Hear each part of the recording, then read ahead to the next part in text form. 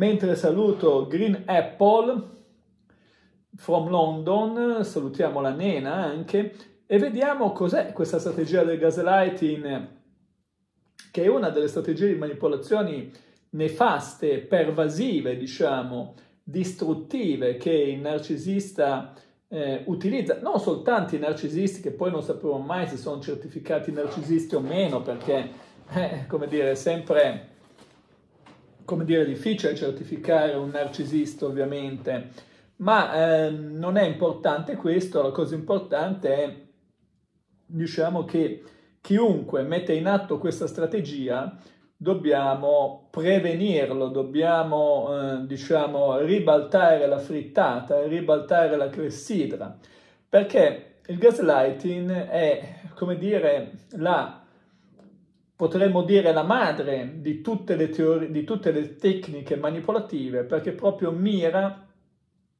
a destrutturare la persona, crea un ambiente falso, cioè eh, il gaslighting ti fa entrare in un mondo, ma il narcisista va a creare questo mondo falso, ma anche i manipolatori, eh?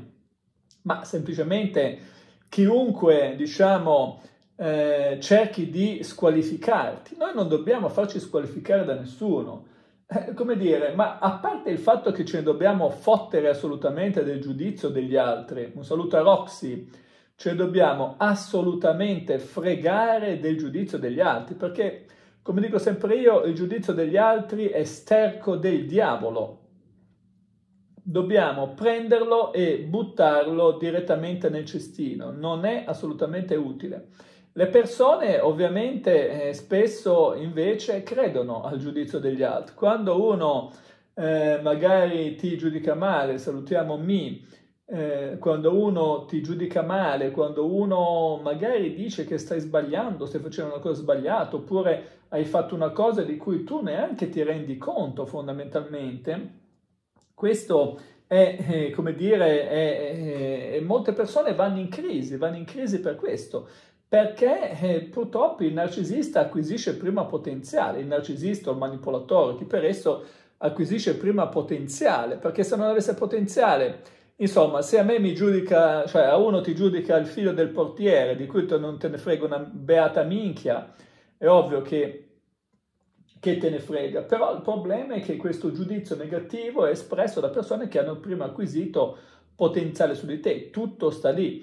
Ma noi dobbiamo togliere il potenziale perché una delle cose fondamentali, delle capacità fondamentali che bisogna acquisire è che io decido di chi innamorarmi io, nel senso la mia sfera logica, perché poi io non esiste, no? Cioè, dice, ma chi è sto io?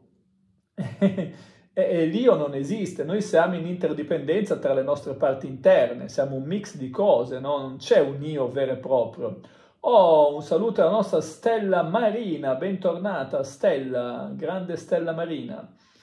E non esiste un io diciamo, eh, non esiste di fatto un io, esiste un'interdipendenza di cose, ma eh, comunque noi di fatto quando siamo oggetto, diciamo, di giudizio da parte degli altri, spesso entriamo in crisi, no? Mi avrà giudicato male, mi avrà detto questo, avrà detto quello, ma fottitene. Tra l'altro, dicevo, noi possiamo decidere attraverso la nostra sfera logica di chi innamorarci e di chi disinnamorarci.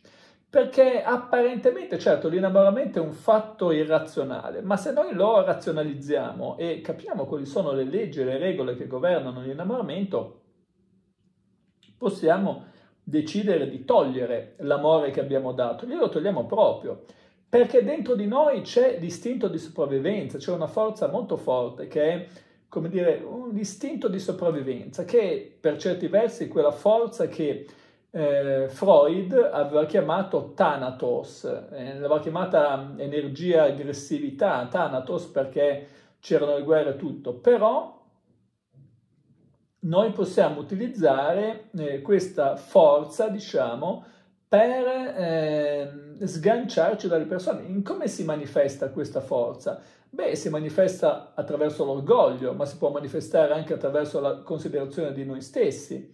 Noi dobbiamo sempre giudicarci bene, perché nel momento in cui iniziamo a giudicarci male, cioè noi siamo perfetti, così come siamo, e ovviamente ci possiamo migliorare, nel senso che siamo intrinsecamente perfetti, no? Come viene detto anche nel buddismo, dentro di noi c'è il Buddha.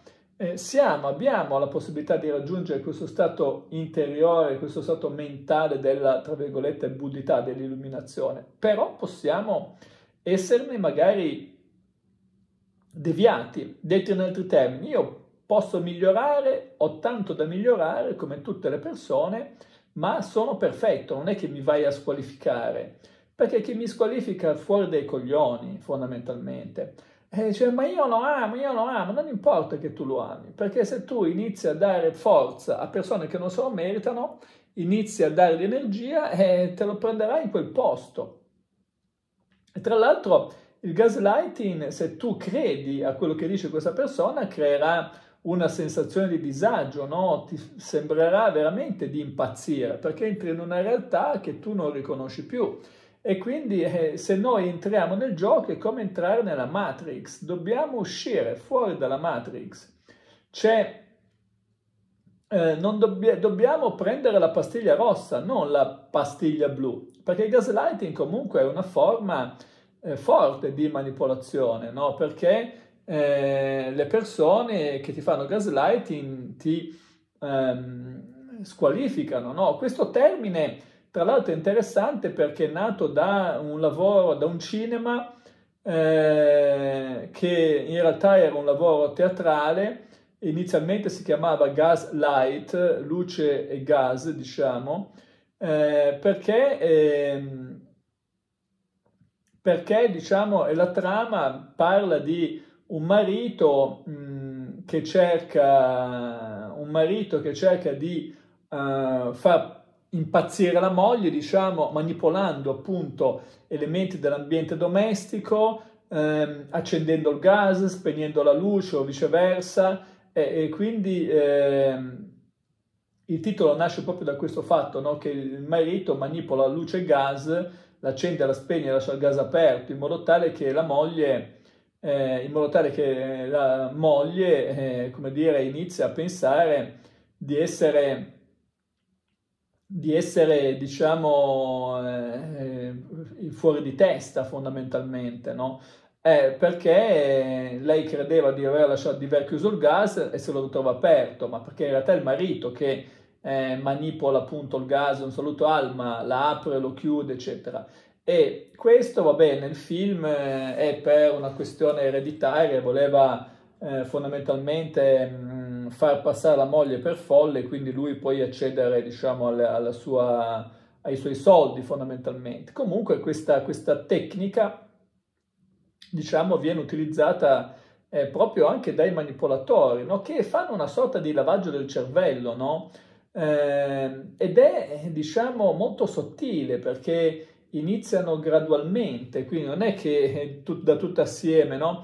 Eh, per cui una cosa che ti suggerisco di fare, quando hai a che fare con persone di questo genere, o registri o scrivi in modo tale che tu, come dire, come dai un supporto alla memoria, no?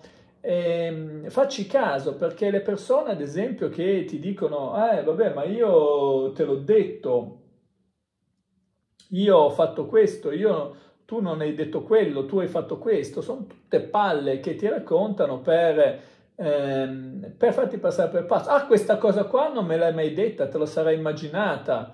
Ah, ehm, poi, eh, tra l'altro, diciamo, ti squalificano anche, no? Ehm, da, davanti agli altri, no? Ad esempio, ecco, oh, saluta Vale, questa dice sempre queste cose, no? Quindi ti fanno passare per folle. Ovviamente il problema eh, qual è? Che eh, se tu credi a questa persona, non credi a te stesso, fondamentalmente. Eh, spesso noi, anche con i nostri genitori, no, da, da, bambini, siamo stati in qualche modo manipolati, magari a fin di bene, ovviamente, ma sempre manipola- di manipolazione si tratta, per cui o giustificavamo noi stessi o giustificavamo i nostri genitori. Quindi se non giustifichi te stesso, eh, devi giustificare gli altri. Quando giustifichi gli altri e tu sei sbagliato. Ma i manipolatori utilizzano proprio anche il fatto di aver acquisito prima potenziale, no? perché alcuni narcisisti poi eh, tutto sommato possono essere anche persone affascinanti, no? oppure presentarsi anche sotto le... E questa è un'altra cosa interessante, presentare, soprattutto i covert, presentarsi sotto le mentite spoglie del bravo ragazzo o della brava ragazza. La gatta morta, per fare un esempio, che inizialmente si presenta con un profilo di basso livello no? e poi ti fotte il marito fondamentalmente. Quindi ci sono tutte queste tipologie e eh, ovviamente quello che fa eh, è distor- una distorsione, diciamo, eh, completa della realtà, utilizzando fondamentalmente le tre, le tre, modalità di distorsione della PNL, che sono la eh, cancellazione di, di, cose, cioè ti dice delle frasi ma omette di dirti delle cose, no? per cui tu non hai più i riferimenti. Questa è una delle forme di menzogna, no? Chi segue con me il corso sulla menzogna, sui microsegnali, sul canale Massimo Teramasco, eh, lo sa, no? Ci sono tra le forme di menzogna c'è, oh, un saluto anche a Stefano Gatto, ciao Stefano. Tra le forme di menzogna c'è anche la dissimulazione, no? Che è quella strategia in cui io racconto una narrativa ma ometto delle, delle cose, no? Per dire, eh, ti racconto per filo e per segno quello che ho fatto un, la sera, tranne quella, diciamo, sono andato a giocare a calcetto con gli amici, poi siamo andati in pizzeria, poi dopo siamo andati a bere, bla bla bla, ti racconto tutta questa storia, peccato che trascuro, diciamo, di dirti che tra, eh, calce- tra la pizzeria e la, la serata ho, ho, sono passato mezz'ora al parcheggio del cimitero con l'amante, per dire, no? Quindi in realtà questa è anche più difficile da riconoscere no? come tipo di menzogna. In realtà eh, si può riconoscere, chi segue il corso ha visto più o meno i segnali, no? Eh, tra i segnali ad esempio c'è il fatto della confusione, di non di mancare alcuni punti, insomma ci sono un po' di modi per capirlo. Però di fatto sta di fatto che comunque eh, il, il gaslighter inizia col eh, cancellare. No? Questa la cancellazione è una delle tecniche della PNL, cancello delle parti di realtà. Un'altra cosa è generalizzo, no? generalizzare. Tu hai sbagliato, eh, che ne so, una cosa, sei un cretino, eh, cioè per dire, no? Ti sei, eh, è perché questa è una generalizzazione, no? Prendo, tra l'altro generalizzo le cose negative, no? Fa un piccolo errore e sei un deficiente eh, per dire, ecco, sei il solito deficiente, fai questo, fai quello, no? Perché hai sbagliato quello, ma in realtà, eh, eh, come dire, tu, eh, tutti noi possiamo fare un errore di valutazione di qualunque cosa e questa della generalizzazione è un qualcosa che eh, viene spesso utilizzato. E poi la deformazione della realtà, no? La deformazione vuol dire che plasmo la realtà a modo mio, ad esempio ti dico di averti detto una cosa che in realtà non ti ho mai detto o te l'ho detta solo parzialmente o che ne so, ecco questo ehm, e quindi bisogna fare attenzione no? perché in queste distorsioni comunicative la persona eh, diciamo che è sottoposta al gaslighting eh, resta disorientata, resta confusa perché il primo eh, diciamo, eh, il primo, dire, effetto che ha il, gaslight, gaslighting è proprio quello di confonderti. Quindi tu arrivi a mettere in dubbio te stesso, arrivi a mettere in dubbio la tua lucidità mentale. È ovvio che se tu non ti consideri lucido mentalmente, eh, come dire, se pensi di essere un cretino, eh, lascerai decidere gli altri, lascerai, come dire, tu non guiderai più eh, i tuoi comportamenti, ma eh, lascerai che siano altri, no? E poi le persone possono anche, diciamo, perdere proprio l'identità, no? Non sanno più chi sono fondamentalmente, perché è ovvio che se tu non sei più sicuro di quello che dici, di quello che fai, di quello che pensi, ecco quindi che eh, bisogna fare attenzione, fare attenzione a quelle persone che ci vogliono squalificare, anche perché il gaslighting può eh, intacca pesantemente la nostra autostima fondamentalmente, no? E, ehm, e influenza anche la nostra eh, vita sociale, no? Eh, poi pianificato o messo in atto inconsciamente poco cambia, cioè nel senso che se una persona me lo fa, eh, che sia che lo faccia consapevolmente, eh, poi non c'è differenza di fatto. Ecco, noi abbiamo quest'idea, no? Che che cosa vuol dire fatto consapevolmente o fatto inconsapevolmente? Non cambia assolutamente niente, intanto se viene fatto. Poi eh, se, non è che se lo fa uno lo fa inconsapevolmente lo fa suo nonno al posto suo, lo fa una parte, come dire, anch'io mi, quando, adesso la cravatta è un po' che non la metto, ma una volta mettevo spesso la cravatta e il nodo della cravatta me lo facevo inconsapevolmente, ma non era un altro che me lo faceva, cioè lo facevo senza stare a pensare perché è un gesto automatico e lo facevo automaticamente, no? Ma non è che, un saluto a Gabriella, non è che se io lo faccio inconsapevolmente ehm, è un altro che lo fa, e sono sempre io, no? E quindi noi, come dicevo prima, siamo un mix di cose, la nostra coscienza, ci sono un sacco di cose che facciamo inconsapevolmente eppure le facciamo, no? Non cambia assolutamente niente.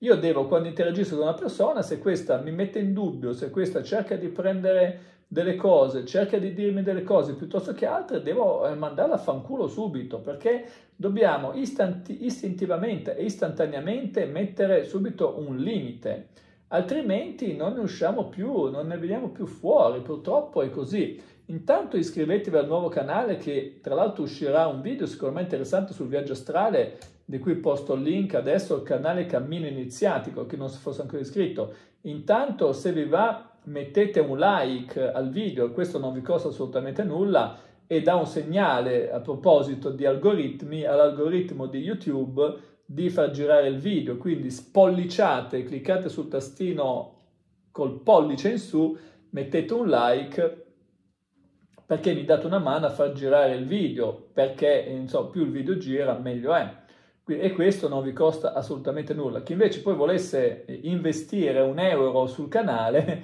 può abbonarsi al canale va nella home page, tastina abbonati, vicino alla tastina iscriviti e si abbona. Chi vuole fare una piccola donazione basta che va sul dollarino e fa una piccola donazione oppure che può andare sul, sotto il video e cliccare sul tastino super grazie. Eh, però almeno il like che è gratuito, quello mettetelo, non perché, come dire, è dando che si riceve, diceva San Francesco. Ecco quindi che questa, eh, questi effetti, diciamo, sono come uno schiaffo, no? uno schiaffo inconsapevole o consapevole e lo schiaffo me lo becco lo stesso, quindi dobbiamo evitare di prenderci eh, l'osta- l'ostacolo, anche perché altrimenti entriamo veramente in crisi eh, di identità, cioè non sappiamo più chi siamo, no? se crediamo a quello. Quindi, in linea di principio, quando qualcuno ci fa una critica, mandiamola a cagare, senza saperne leggere né scrivere, no? e tanto ti manda a fanculo. Poi, eventualmente, ne discutiamo, diciamo, no? Quindi prendetelo come, come diciamo, come modus operandi. No? Quando qualcuno ti dice ma tu hai detto questo, hai fatto quello, no, non è vero, hai detto quello, voi iniziate a mandarla a fanculo, che questo fa sempre bene all'autostima, no? Prima istanza l'ho mandato a fanculo, poi magari riflettete, ma forse l'avevo detto, forse non l'avevo detto, ma come prima cosa mandata a fanculo che non, come dire, un vaffanculo è sempre, eh, diciamo, è sempre terapeutico, no? Per, per non saperne leggere né scrivere iniziate a mandare a fanculo. Poi dopo uno può eh, valutare o meno come sono, come sono, le cose, ma il vaffanculo iniziale, il vaffanculo dei, diciamo, bisogna sempre attuarlo. È ovvio che se uno ti dice come devi comportarti o come non devi comportarti, cosa devi fare o cosa non devi fare, beh, qua ci sono due soluzioni. Ehm, una divertente, se uno ti dice quello che devi fare, tu dici sì, sì, certo, oh, grazie, uh, grazie, grazie, grazie e poi fai come cazzo vuoi, diciamo così, che lo prendi per il culo. Questa è divertente, no? Perché è la, dire, la risposta presa per il culo, anche questa funziona. Eh, ti dico di sì e poi faccio esattamente... Non è detto che non lo faccio quella cosa lì, o che fa, però faccio esattamente come cazzo voglio. Quello che tu mi dici mi entra da un orecchio e mi esce dall'altro. Oppure, eh, oppure mm, eh, prova a sondare, no? faccio qualche domanda, ma scusa, ma se facessi il contrario cosa succederebbe? Ecco, mettetelo un po' in crisi, no? la persona. Tanto poi voi, il presupposto di fondo è che farete come cazzo volete. Però potete giocare un po', no? utilizzando quello che viene chiamato il metamodello. No? Il metamodello è una tecnica di PNL, no? che mh, mm, anche qua la spiegavo durante il corso di PNL, però è molto efficiente no? il metamodello, che è praticamente un modello di precisione. No? Se uno ti dice, ma dovresti fare così, ma perché se facessi il contrario cosa succederebbe? Ma eh, guarda, eh, se, ma perché secondo te dovrei fare proprio così e non cos'ha? Eh, perché secondo me anche cos'ha può essere importante. Eh, ecco, iniziate a fare domande eh, a imbuto, no? in cui lo, lo, cercate di mettere in un cul-de-sac, diciamo così. E ehm, questa è anche, vedrete che se questa persona non ha delle basi, non ha delle basi buone, eh, diciamo, si tirerà, si tirerà via. Beh, eh, è vero, lo dicevo prima, noi spesso siamo abituati a essere manipolati perché viviamo in una società manipolatrice, siamo stati manipolati fin da piccoli, però, eh, come dire, c'è sempre una prima volta, no?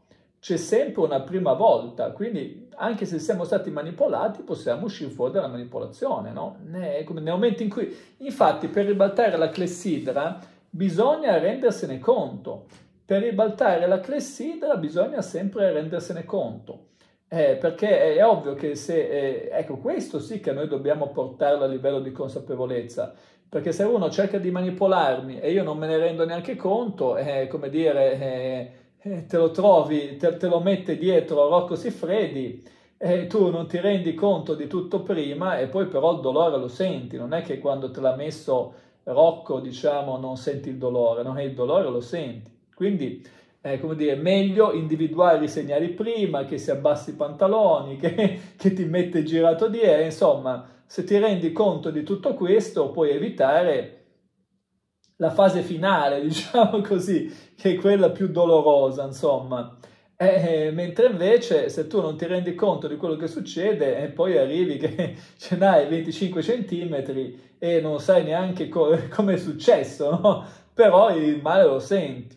Ecco, quindi che invece è importante, a meno che non dici, meno male che c'era quella barzelletta di quello che diceva, meno male che me l'ha infilato lì dietro, perché se me l'avesse dato in testa mi ammazzava. Uno vede, può vedere sempre gli aspetti positivi della cosa. E questa era una barzelletta però che non c'entra. Comunque, ehm, dobbiamo eh, razionalizzare no? quello, che, quello, che, ci viene detto. No? Eh, quindi questo è un punto fondamentale. No? Eh, poi se uno si rende conto che ha sbagliato qualcosa può tranquillamente chiedere scusa, nessuno è per, ma non dobbiamo sentirci in colpo, noi abbiamo diritto di sbagliare, abbiamo diritto di eh, dire delle cose che pensiamo, eh, come dire, tanto guardate che le persone che veramente ti vogliono valorizzare non ti criticheranno mai negativamente, cercheranno sempre un qualcosa di positivo, già anche se tu hai sbagliato e uno ti squalifica, non tanto perché, allora un conto è se uno ti dice guarda secondo me hai fatto questa cosa, boh, potrebbe essere quell'altra, ma chi ti dice sei un cretino che hai fatto questa cosa qua? Va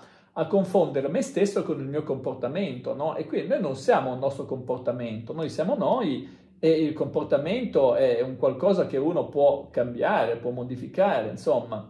Quindi già di fatto le persone che tendono a squalificare te, te per quello che fai eh, sono, eh, come dire, personaggi negativi, nefasti, da levarti dai maroni totalmente.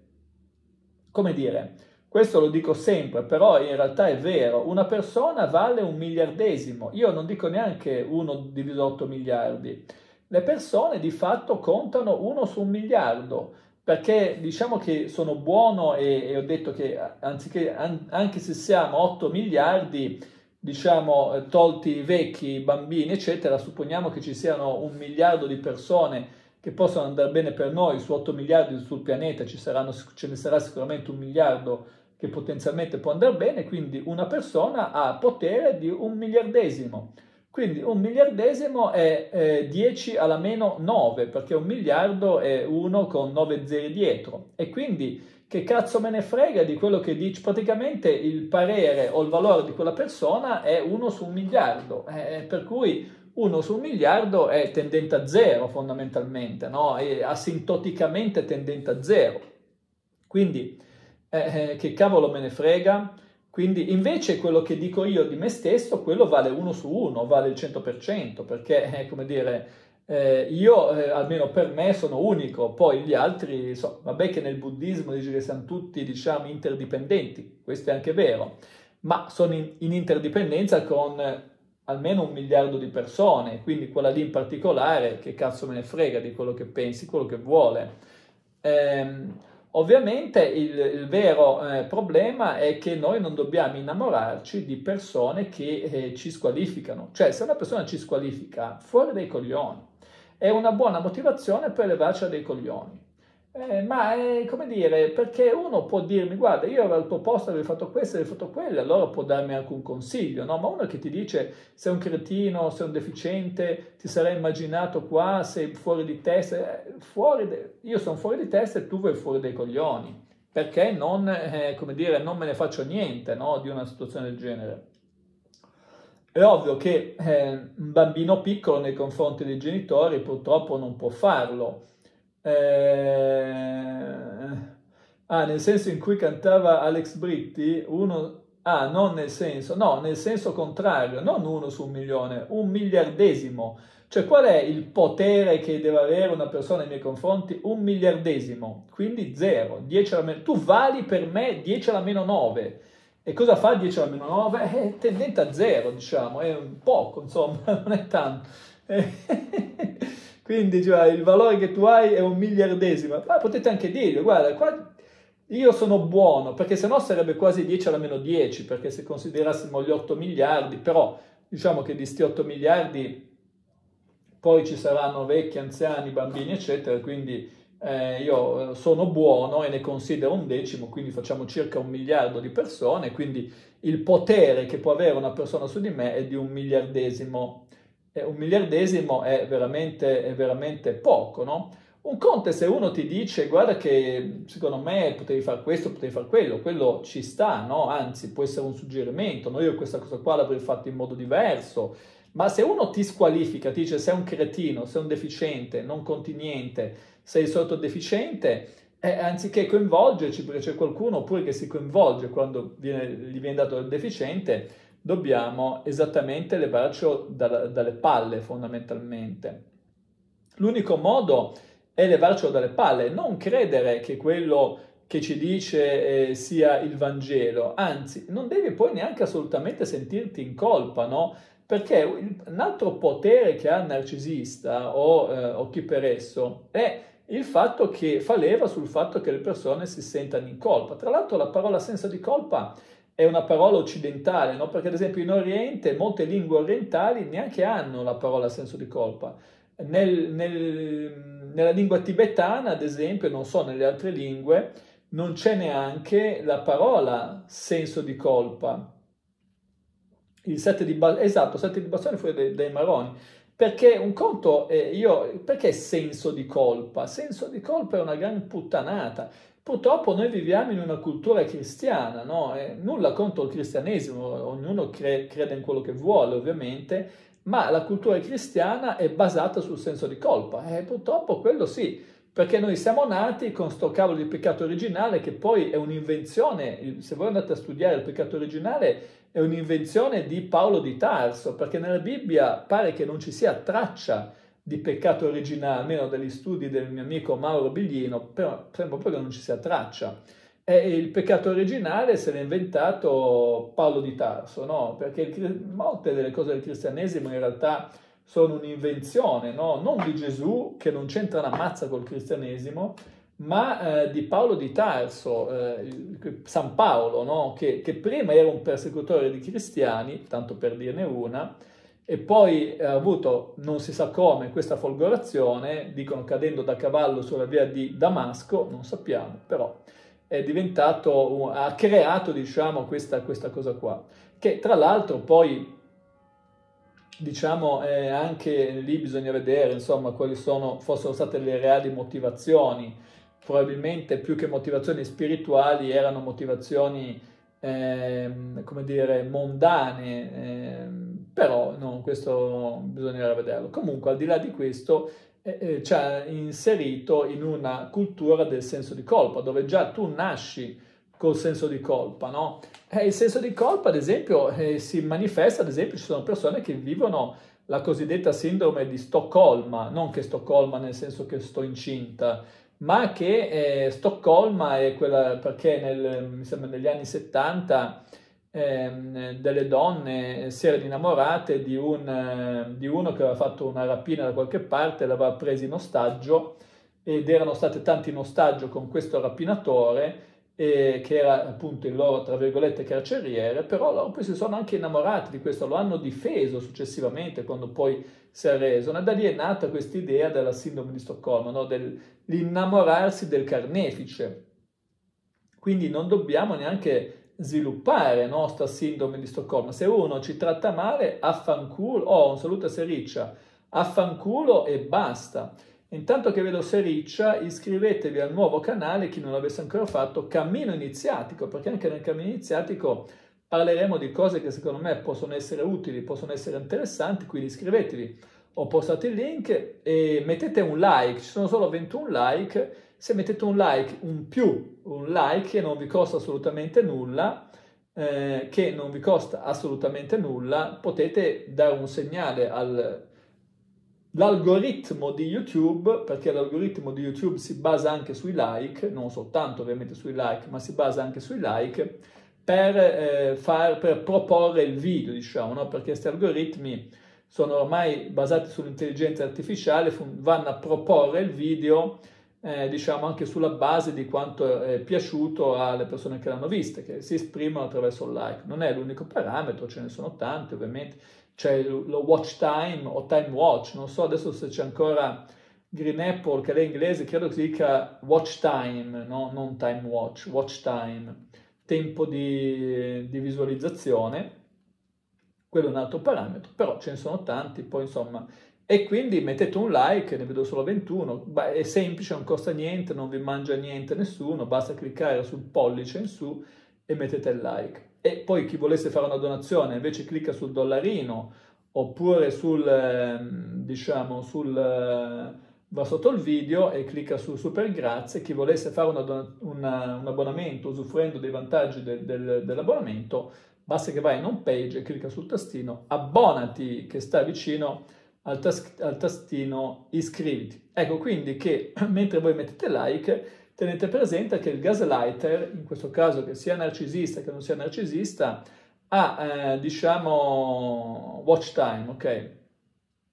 Ha proprio la finalità di, eh, proprio la finalità di eh, renderti insicuro, renderti insicuro, perché è ovvio che è molto più manipolabile no? una persona insicura di se stessa che una, sicur- che una persona sicura. Se io sono sicuro di me stesso, eh, eh, come dire, eh, sono molto meno manipolabili. Quindi questa tipologia di persone va proprio a, eh, diciamo, a raccontare delle menzogne, no?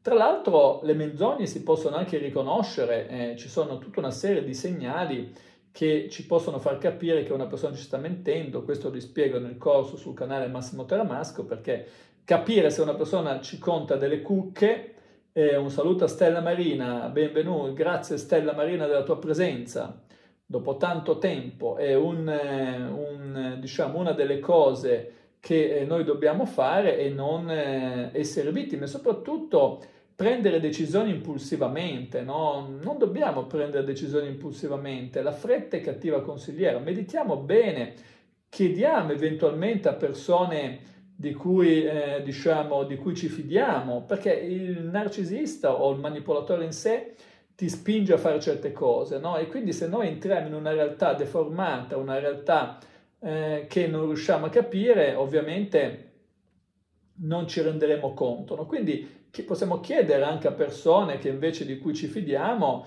eh, raccontiamo anche, come si dice, no? Chiedo per un amico, no?